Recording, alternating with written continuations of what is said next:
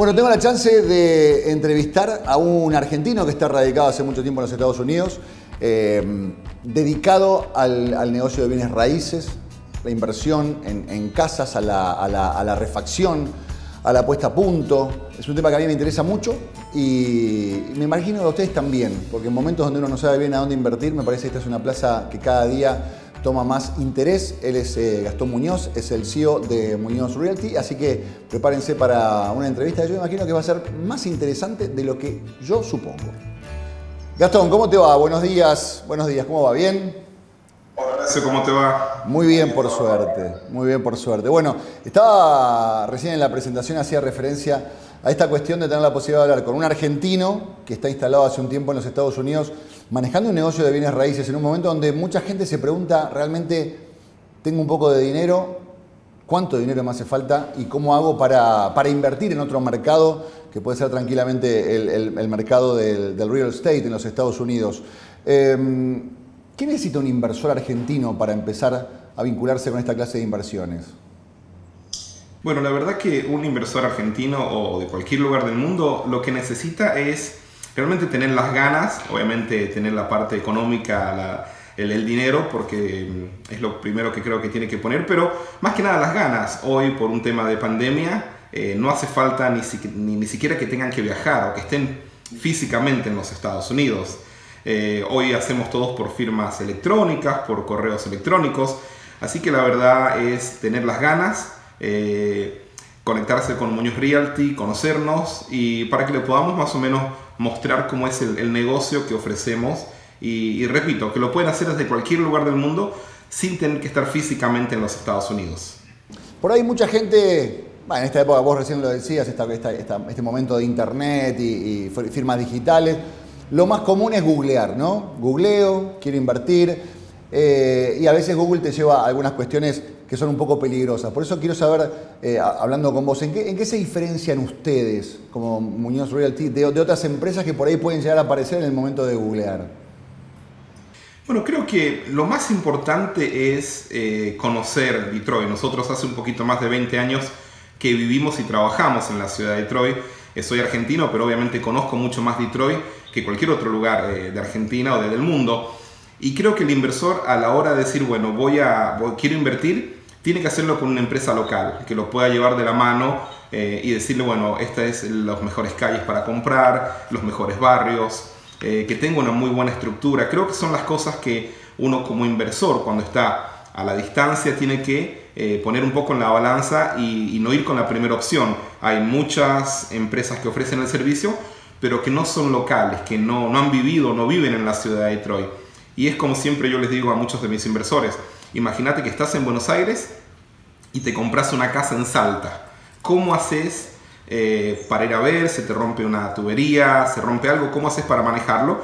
Tenés que tener obviamente a alguien local. Y creo que esa es la diferencia de Muñoz Realty con todas las otras empresas que te ofrecen el negocio en Detroit.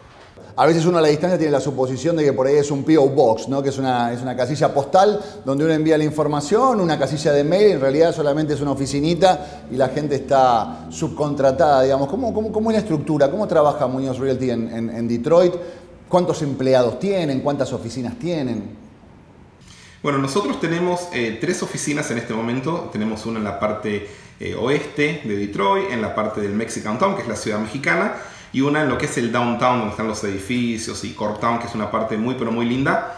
Las oficinas están obviamente ubicadas estratégicamente para poder eh, darle el servicio a nuestros inquilinos.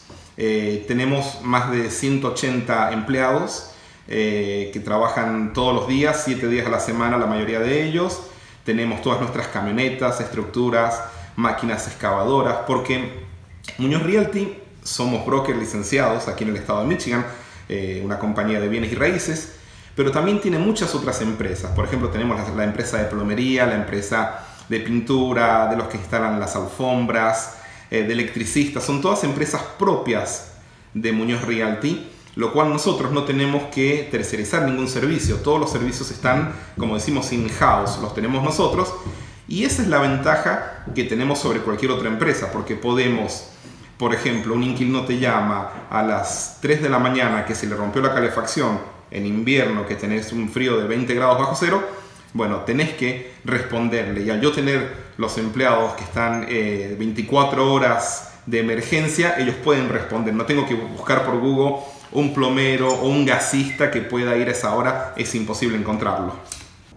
Recién hacía referencia a las, diversas compañías y cómo son sus propios proveedores en, los rubros de construcción, que, suele ser un proceso algo complicado cuando uno se mete en obra. ¿Cómo es el procedimiento de compra, por un lado, y la de reparación de una propiedad? Bueno, lo, primero que nosotros hacemos es enviar un equipo, eh, cuando alguien quiere vender su propiedad, vamos, inspeccionamos la casa, eh, primero manejamos, vemos el barrio, nosotros siempre decimos, por ahí el estado de la propiedad no nos importa, las casas se hacen prácticamente, se refaccionan totalmente a nuevas, pero lo que yo no puedo hacer es levantar la casa y llevármela a otro barrio, entonces lo más importante es dónde está el barrio, dónde está ubicada la casa, la cuadra, sus alrededores, entonces un equipo va y revisa la propiedad, nos mandan fotos, videos, las vemos nosotros personalmente, eh, de ahí se compra la propiedad y una vez que la compramos el mismo día con nuestras propias empresas, empieza el proceso de primero sacar toda la basura, hacer toda la demolición, remover techos, ventanas viejas, eh, todas las tuberías, se rompen todas las paredes, o sea, queda las columnas de la casa y la fundación, que es el sótano, los pilares, es lo único que queda. Entonces primero viene un equipo que hace toda la demolición con los contenedores, con los dumpsters, que son todos propios, pues también tenemos una empresa de contenedores, se llevan toda la basura, después llegan los plomeros y electricistas. Ellos trabajan en simultáneo, el plomero empieza a meter todas las tuberías, a correr las líneas de agua, de gas, de agua caliente, agua fría, y también los electricistas ponen una caja de electricidad y corren toda la electricidad, ponen todos los enchufes. Ellos son los primeros, el primer equipo que llega a hacer eso, después de la demolición. Después de eso vienen las personas que hacen el, drywall, que es las placas de yeso armado, que es lo que usamos en la construcción seca. Ponen todo ese drywall, forran toda la casa por dentro. Otro equipo previamente ya empezó a hacer el techo, a cambiar las ventanas. Entonces van diferentes equipos trabajando, algunos en simultáneo, otros no, y van preparando la propiedad. Muchos de, de estos detalles no se ven porque por ahí nadie te muestra las tuberías o la electricidad, pero es tan importante, es mucho más importante que lo cosmético. Después si la casa la pinto de color gris o de color beige, no importa si le pongo una cerámica un poquito más cara o de menor calidad, lo más importante en este negocio es que nosotros pongamos buenas tuberías, electricidad, techo, ventanas, insulación, porque eso es lo que va a causar que en algún momento el inquilino tenga problema y que ese problema obviamente se traslade al inversor. Entonces Muñoz Realty se encarga de lo que no se ve primero. Después lo otro es cosmético, que es realmente no es tan importante si bien queremos tener una casa linda, pero no es tan importante como lo que no se ve. Claro, claro, claro. Y, también haciendo referencia a eso, a ver, en, Argentina estamos acostumbrados a ver otra clase de construcción, es otro tipo de construcción al que estamos habituados. ¿Qué, ¿Con qué materiales se trabaja en la refacción de una casa de estas características? Bueno, como te comentaba, es construcción en seco, lo cual eh, muchas veces me dicen, más que nada los inversores de, Latinoamérica, me dicen, bueno, pero yo quiero casas de ladrillo, estoy acostumbrado al ladrillo, al cemento, y acá casi no se usa eso, o sea, la fundación de la casa es, de ladrillos, con cemento, es muy fuerte, porque aguanta, soporta todo el peso de la propiedad, de arriba tenés columnas de madera, y después es un, es un revestimiento, que va el drywall, que es el yeso armado, estas planchas o placas de yeso armado, después insulación y el revestimiento, lo que la gente va a ver por fuera, puede ser de un material que se llama siding, que es un material como si fuese PVC, que es muy lindo, es muy moderno, se puede lavar, se puede pintar, o puede tener revestimiento de ladrillo. Pero es solamente un revestimiento. Si yo saco el revestimiento, la casa queda parada, queda, queda, queda en su lugar. No hay columnas como por ahí en Mendoza, esas columnas antisísmicas que van enganchadas, eso no, no existe. Em, creo que uno de los razones por qué se hace, sería casi imposible calefaccionar con estas temperaturas una propiedad de ladrillo y cemento. En cambio, la madera, la insulación que se pone entre medio de la madera y, el siding o el ladrillo ayuda a que la casa sea mucho más cálida para el invierno, porque tenemos temperaturas muy muy bajas en, Michigan. Sí, claro, obviamente. No, ni me quiero imaginar el tiempo de fraguado de un hormigón armado si están hablando de 20, 25 grados bajo cero, ¿no? Claro, no. Por ejemplo, las compañías eh, eh, cuando arreglan las calles, solo pueden trabajar algunos meses. Yo tenía que hacer eh, lo que es el driveway, donde estacionamiento en las casas, y solo tenemos 5 o 6 meses para poder hacer, porque después de noviembre hasta mayo no podemos volver a hacer cemento, porque se quema, o sea, no, no, va a secar nunca. Entonces todo lo que es cemento es muy complicado, por eso se fueron usando esas opciones de tener eh, lo que es el, armado seco, o sea, la construcción en seco, que es mucho más... A mí me pasó una vuelta en, en un hotel cuando estuve el último año en Argentina que se les rompió una tubería y tardaron como una semana, era un yeso terrible, cemento. Y yo le decía a uno de los chicos ahí, pues estaba con la computadora, le digo, esto me pasa en Michigan, yo corto con un cuchillo, hago el agujerito, arreglo el caño, pongo un parche, le pongo pasta, pinto y en una hora te lo terminé. O sea, es muy simple arreglar un caño, una tubería, un drenaje, porque es todo fácil para llegar. Claro, claro, claro. A ver, ahí tenemos la parte por ahí que a los inversores les interesa con respecto a cómo es la calidad de construcción, el método de construcción. Y al mismo tiempo me imagino que un inversor debe estar pensando, bueno, ok, tengo mi casa, pero una vez que tengo mi casa, ¿cómo hago yo para conseguirme un inquilino este, desde Buenos Aires, desde Mendoza, desde Salta?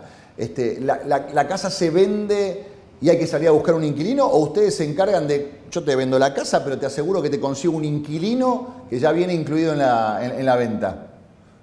Exacto, esa es la parte porque siempre decimos que ofrecemos un negocio eh, llave en mano, porque eh, nosotros compramos la propiedad, la refaccionamos, buscamos un inquilino calificado, que lo hace Muñoz Realty, y recién ahí le vendemos la propiedad al inversor, ya con el inquilino pagando el alquiler. Entonces el inversor no tiene que preocuparse de nada, una casa totalmente refaccionada, con garantía y con un inquilino pagando, un inquilino calificado por nosotros mismos.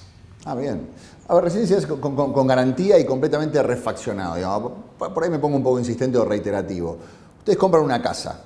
Si hay partes de la casa que sirven, se, aprovechan, pero si no, no dudan y la instalación se hace a cero, las aberturas se hacen a cero, las paredes se hacen a cero. Si los cables no están del todo bien, vuelan los cables, instalación nueva. Si los caños no están del todo bien, vuelan los caños, instalación nueva. Exacto, porque nosotros sabemos que eh, si no se rompe ahora, se va a romper en un mes o en seis meses o en un año. Y como nosotros, todas nuestras propiedades, le damos una garantía, como Muñoz Realty obviamente eh, sigue trabajando para no irnos a ningún lugar, o sea, la compañía sigue creciendo, pensamos en que vamos a administrar esa propiedad y el negocio con el, con el inversor va a seguir. Entonces, la forma de hacerlo es que, bueno, yo cambio las ventanas, por más que las ventanas se ven bien, voy a poner ventanas nuevas, aberturas para asegurarme que ese problema no me siga en un año, porque obviamente vamos a ser nosotros responsables. explicamos que es un negocio, no es un negocio del momento. O sea, no es que yo te vendo la casa y después no me ves más, sino que quedamos de alguna forma eh, trabajando juntos para poder eh, solucionarte cualquier problema. Entonces, lo que no arreglo hoy lo voy a tener que arreglar en un año, en dos años. Entonces, prefiero hacerlo de cero y ya el inversor está tranquilo. Está muy bien. O sea, me estoy dando cuenta que a diferencia de lo que puede pasar acá en la República Argentina, al vender una propiedad no es que se termina la relación, sino que recién está empezando la relación. Claro, al principio es que nosotros arrancamos, cuando vendemos la casa es como el principio, porque después la administramos, le damos una garantía de 24 meses que si se rompe algo lo va a pagar Muñoz Realty de su bolsillo, el inversor no paga un centavo por los primeros 24 meses. Entonces toda esa parte es un poco que si yo, como decía, no lo arreglo ahora y bueno, después se me va a romper la calefacción en seis meses y no le puedo llamar al inversor y decirle se rompió tu calefacción, porque yo te di una garantía. Entonces pasa por ese lado. Claro. Recién hacías referencia a lo duro que es el invierno, lo, inviable que sería construir con el método tradicional acá en la República Argentina, las limitaciones que ustedes tienen para trabajar en cemento. ¿Qué pasa con una refacción, digamos? Muñoz Realty corta las operaciones de refacción durante el invierno? No, no, no, seguimos trabajando igual. Eh, obviamente lo que no podemos hacer en un día con mucho hielo y nieve es hacer un techo.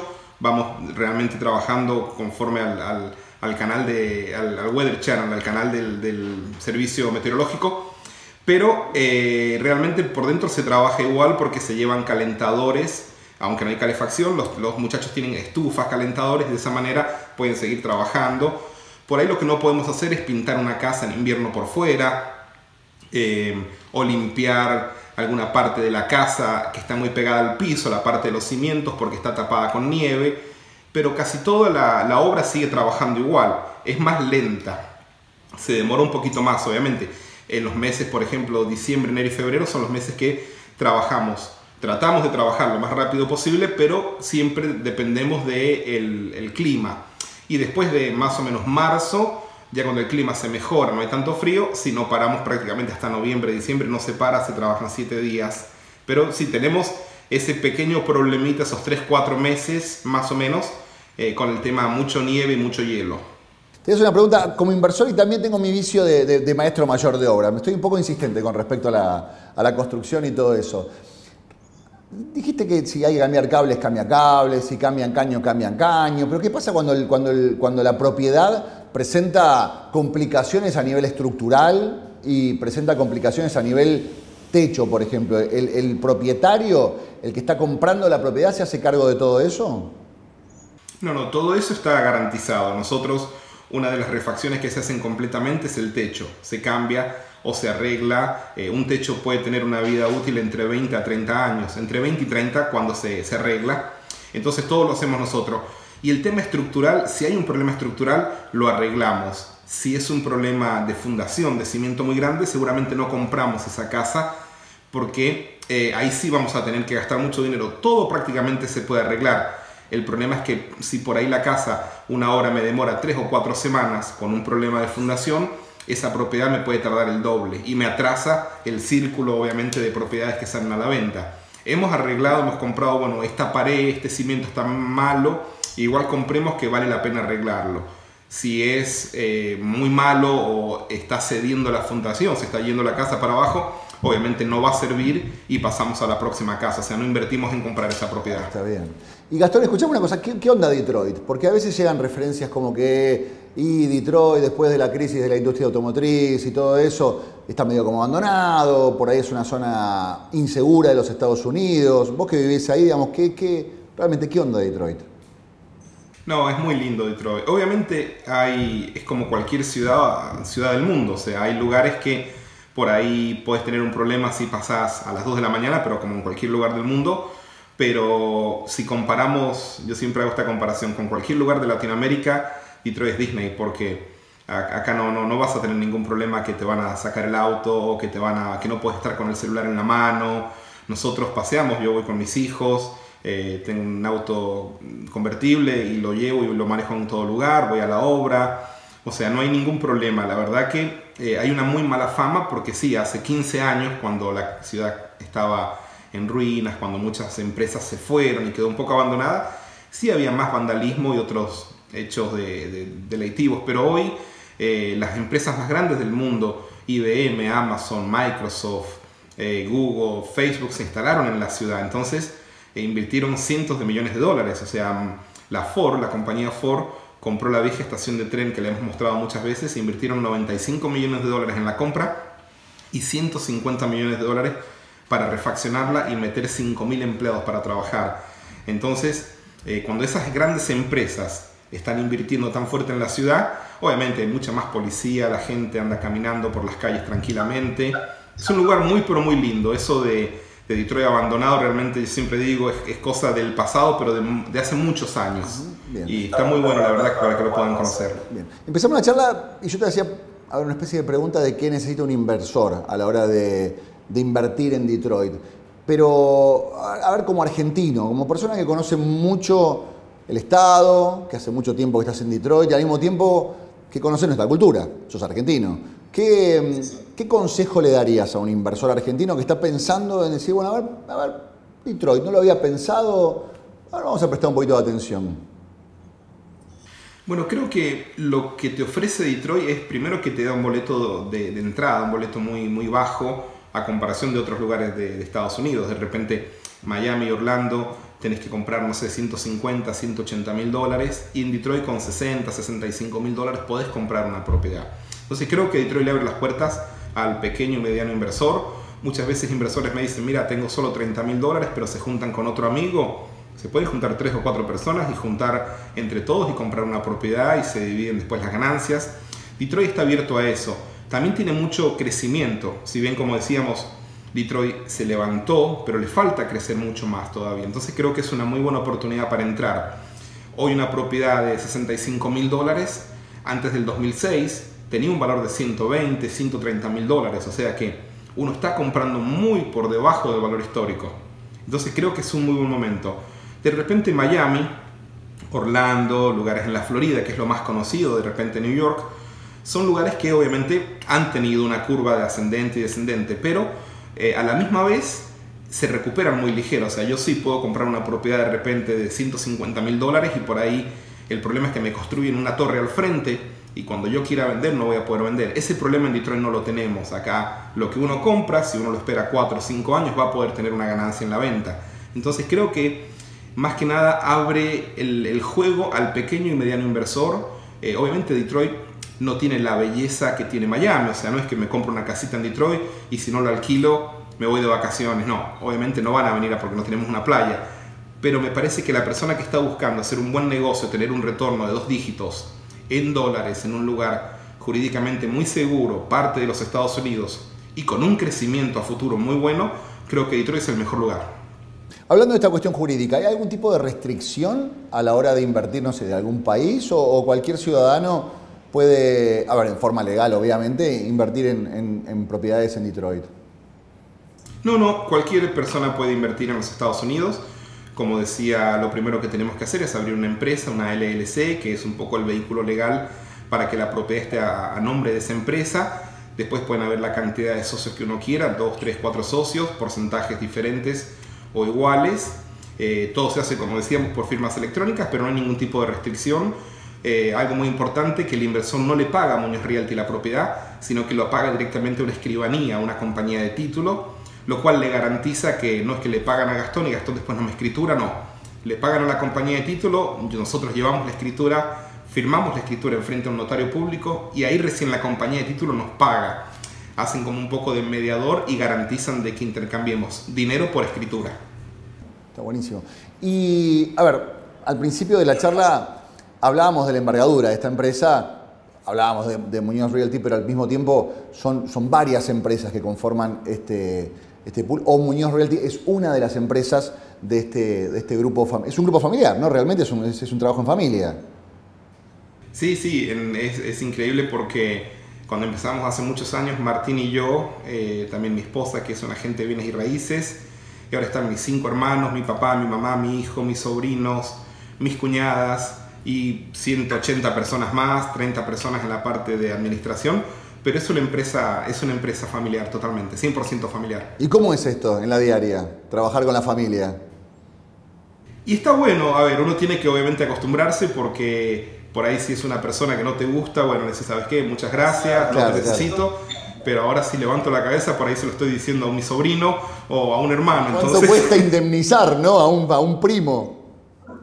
Lo bueno es que acá no hay problemas de esos de indemnización y todo eso, así que está bueno. Pero la otra vez le decía a mi hermano a, modo de broma, ayúdame con esto, ¿no? Es que no, si te despido la mamá no me va a hablar nunca más, Entonces, pero, pero no, no, son excelentes porque obviamente tiramos todos para el, tiramos del carro, como decimos, para el mismo lado. Eh, si necesito mis hermanos siete días, están los siete días. Si algo pasa, son los primeros en estar. Y creo que esa es la base. Por ahí un, un trabajador, un empleado te dice, bueno, mañana es domingo, ah, bueno, yo descanso pero si hay una emergencia, pasó algo, toda la familia está ahí como, como leones ayudándonos, así que es muy importante el, vínculo familiar. Y eso también, eh, yo siempre digo, uno puede dejar este mundo en cualquier momento y Muñoz Realty va a seguir porque mi esposa está sacando su licencia para ser broker, ella va a pasar a ser la nueva broker de la compañía, tengo mi, mi hermano que tiene su licencia de real estate, mis sobrinos, entonces eh, la compañía va a seguir creciendo, o sea, Muñoz Realty, la marca va a seguir para adelante esté obviamente Gastón Muñoz al frente o no, la, compañía va a seguir para adelante. Y aparte, muchas veces yo lo hablé con, compañías familiares, que una cosa es tener un nombre de fantasía en el cartel que tenés en la puerta de tu, local, de tu oficina, de tu edificio, y otra cosa que tu nombre esté en la puerta. Hay, una, hay un compromiso, tengo la sensación de que es un compromiso mayor, que tu apellido sea el emblema de la empresa. Sí, nosotros cuando yo me hice broker, eh, primero de haber sido agente de bienes y raíces y después me convierto en broker, tenía que elegir el nombre que quería para mi empresa. Podía haber ser parte de algún franchise de los más famosos en Estados Unidos, se paga un fee obviamente, pero creo que la, esencia de nosotros venía por ahí de decir, yo quiero ser Muñoz, o sea, mi, apellido no me lo voy a poder cambiar nunca, entonces no me puedo ir a ningún lado. Entonces decidimos Muñoz Realty y creo que eso es un poco la esencia de nosotros, de que es la familia del crecimiento, de oportunidades para otras personas, de tomar a cada inversor. Eh, cuando los inversores vienen a, a, conocer Detroit, vienen a comer un asado a mi casa. O sea, saben dónde vivo, por medio de videos mostramos dónde vivimos, lo que hacemos, no escondemos nada, porque siempre decimos, para nosotros Detroit es, nuestra casa y no nos podemos ir a ningún lugar, o sea, no podemos cambiar de rubro y decir, bueno, ahora voy a, no sé, a abrirme, voy a vender computadoras, no, somos agentes de bienes y raíces, Muñoz es una, una compañía licenciada en el estado de Michigan y no se va a ir a ningún lado, va a seguir, entonces creo que van las dos cosas de la mano, el nombre y el apellido fue, fue por eso, pensando en ese, en ese lugar. Y a nivel metas, digamos, siempre, el año pasado era un año, ah, fue un año imprevisible. ¿no? Uno puede adaptarse a un montón de situaciones, pero la verdad que el 2020 no lo, no lo imaginaba nadie en ningún aspecto. ¿Cómo, ¿Qué metas tienen para el 2021? Pensando en esta cantidad de cosas que estabas describiendo y que, y que, y que Muñoz Realty es mucho más que una empresa de bienes raíces. ¿Cómo, cómo se enfocan y qué eh, expectativas tienen para este año que recién está empezando? Bueno, ahora lo que estamos trabajando, eh, acabamos de abrir la tercera oficina y tenemos ya antes del fin de año dos oficinas más queremos tener por lo menos 5 oficinas. Estamos tratando en, tener por lo menos 50 empleados más, así que estamos en entrenamiento, entrenamiento perdón, estamos trayendo personas de otros países para, que nos puedan ayudar, porque a veces es difícil conseguir trabajadores aquí en, Estados Unidos. Y estamos, realmente queremos poder eh, aumentar la productividad de propiedades. Muchas veces me pasa que un inversor entra a la página de internet y me dice, Gastón, veo que todas las casas vendidas, todas reservadas. Bueno, sí, los ponemos en una lista de espera, salen 15 o 20 propiedades en la semana, pero es increíble. Nosotros vendemos 15 o 20 propiedades en 2 o 3 horas.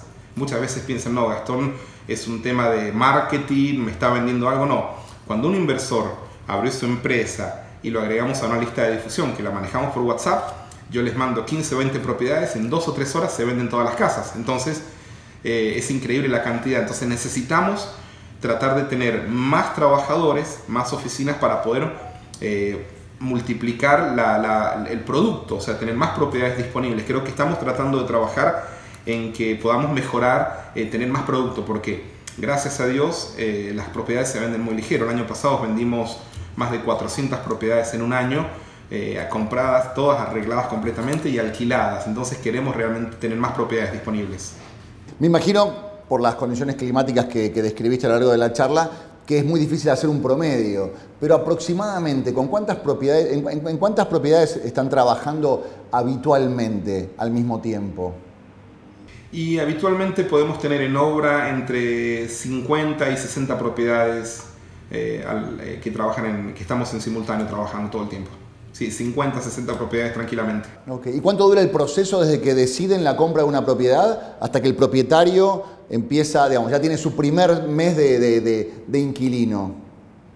Bueno, muchas veces nosotros, para tener esa, esa, rueda, como quien dice, funcionando, mostramos la propiedad cuando está fea, o sea, cuando recién la compramos, que está ventanas viejas, techo viejo, como los inversores nos siguen por las redes sociales, nuestro canal de YouTube, creo que ya saben que compramos algo que está destruido, pero que queda nuevo, prácticamente es totalmente nuevo.